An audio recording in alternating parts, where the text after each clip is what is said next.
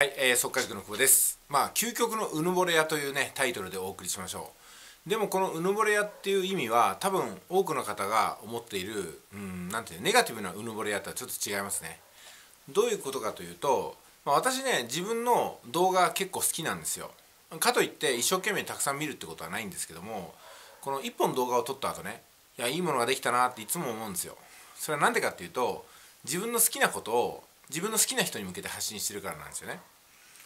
これ好きになりよう好きになるしかないじゃないですかこんなことしたら。でも自分の意にそぐわないことを意にそぐわない人に向けて発信していたらどうですかね。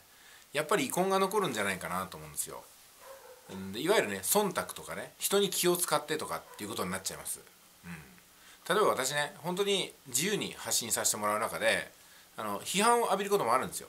でその批判に対しては私ねあのこう別の意見があって当たり前だと思うんでしっかりとね学ばせていただくっていうか受け取ることにしてるんですけども批判ばかりする人って結局いなくなるんですよ。というのが私とコミュニケーションしててもつまんないからでしょうね。私の批判私に批判されても最終的に私がその批判を受け入れるのかそれとも別の考えに行くのかっていうのは私が決めるんでその批判をしてる人に、まあ、気を使ってじゃあそういうふうに考えようかなってことにはならないんですよね。でも普通の関係ではね例えば近所とか会社の関係でも自分はそうは思わないんだけど言うこと聞かないといけないことって結構あると思うんですよ。それがだから面白くないコンテンツになってくるんですよね。でも自分が作ってる動画コンテンツっていうのは隅から隅まで自分の気に入ってる時に気に入ったタイミングで気に入ったことを発信してそしてねそういうのが好きな人がチャンネルを登録してくださったりとか繰り返し動画を見てくださるんでまあ私としてもストレスがないですしね。聞いてくださる方も、うん、共感するところは確かにそうだよねっていうところもあったり、うん、もしかして意見が違うことはためになりますねっていうふうなコメントになるんですよ。あ違う考え方そういう考え方本当に勉強になりますみたいなこと言ってくれるんですよね。それ私も同じ思いなんですよ。自分と違う考え方にぶつかった時にいちいちね否定したり批判したりとか覆そうと思うんじゃなくて違う考えが知れてよかったなって思うことによってそのコンテンツってとってもよくなるんですよね。それに対してあの何々さんはそう言うけど私はこう思ってるんですけどね。っていうふうなのは単なる意見の相違なんで争い合いにはならないんですよ。だから論破してやろうって気持ちにはならないんですよね。そのよくねテレビですとかそれから YouTube とかの対談でもなんとかこの人を論破してやろうっていうのを見てそれをね楽しむ人がアクセス集めてますけども例えばねなんか誰かが言ってました。写像とかね。なんか言ってる人いましたね。それあなたの感想ですよね。みたいなね。その論破っていうのは楽しいんですけどもでもねやっぱどっちかが恥ずかしい思いをしてシュンと下を向いちゃったりとかね。論破に対して論破の言い合いになっちゃったりとかしてね。なんかこう喧嘩単なる論争になってしまうところがあります。私はそういうのないんですよ、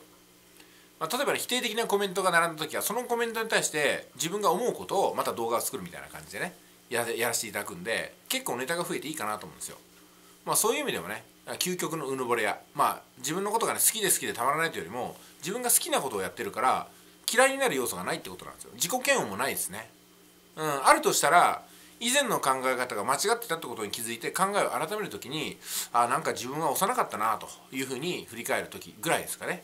でも基本的には自分の知識量と理解度こういったものっていうのは日々育っていくと思いますんで過去の自分の情報と過去の理解度っていうのは今よりも劣ってると思いますから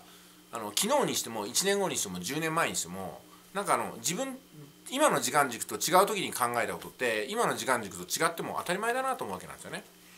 で同時にですね今考えてることが多分ね明日になったらもしくは1年後とか3年後にはまるで変わってるかもしれません。それは私が別の角度から物事を見れたりとかまたね思考の変化が起きたからだと思うんですよ。その思考の変化っていうのは新しい人に出会えたからこそ起きるかもしれませんし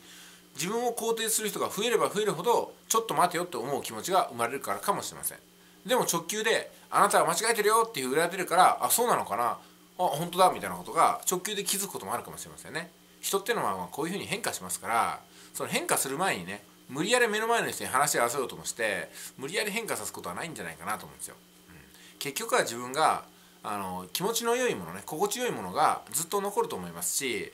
その場しのぎでねトラブルを避けるためにやったことっていうのはきっとずっとね遺恨となって自分の心を苛むんじゃないかなと思うんですよね。まあ、ですんで究極のうぬぼれやというふうなねタイトルにさせていただきました。やっぱね自分が好きじゃないと